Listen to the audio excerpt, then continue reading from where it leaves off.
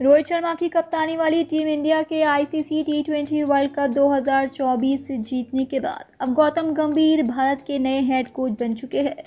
ऐसे में गौतम गंभीर के साथ कभी टीम इंडिया में खेलने वाले रोहित शर्मा और विराट कोहली जैसे सीनियर खिलाड़ी अब उनकी निगरानी में खेलती नज़र आएँगे।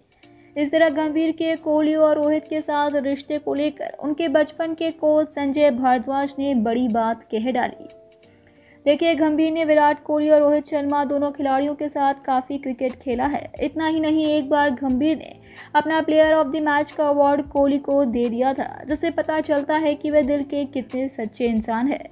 गंभीर ने मुझे काफ़ी पहले ही बता दिया था कि एक दिन रोहित शर्मा बहुत बड़ा स्टार खिलाड़ी बनेगा। गौतम गंभीर के बचपन के कोच ने आगे कहा कि गौतम गंभीर अगर किसी फैसले को समझेंगे कि टीम के लिए सही है तो वह उस पर अड़े रहेंगे। गंभीर हमेशा जीतने के लिए खेलता है और टीम कॉम्बिनेशन बनाने पर हमेशा उसका फोकस रहता है।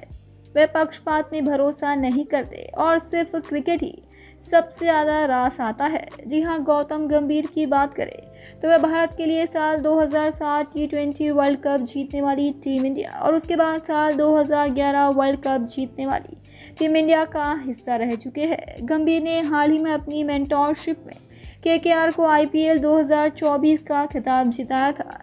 इसके बाद से ही गंभीर का नाम टीम इंडिया के अगले कोच के लिए रेस में आ गया। अब गंभीर साल 2027 वनडे वर्ल्ड कप तक टीम इंडिया के कोच बने रहेंगे।